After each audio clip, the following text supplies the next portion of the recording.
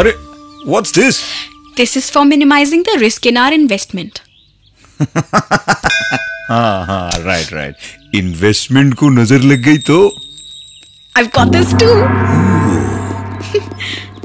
Very nice है ना but don't worry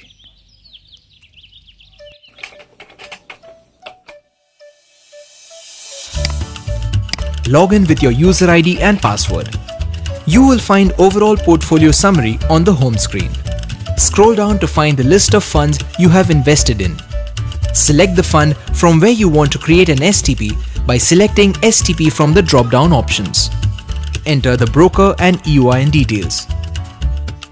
Confirm the source scheme and select destination scheme.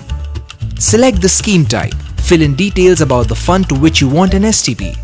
Then fill in details for STP registration like frequency, amount, date, number of installments.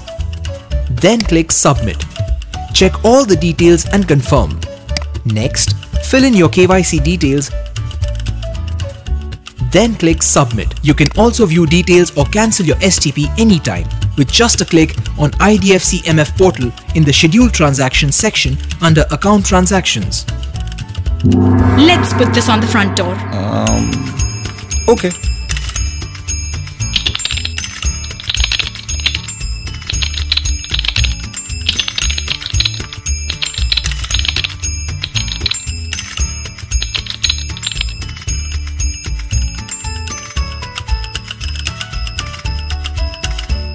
Mutual fund investments are subject to market risks. Read all scheme related documents carefully.